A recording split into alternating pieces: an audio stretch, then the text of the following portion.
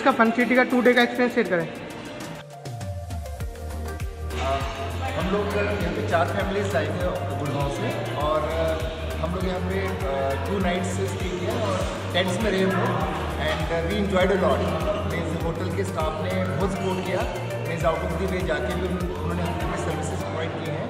And I think this will be our memorable stay and fun city का okay sir welcome mostly welcome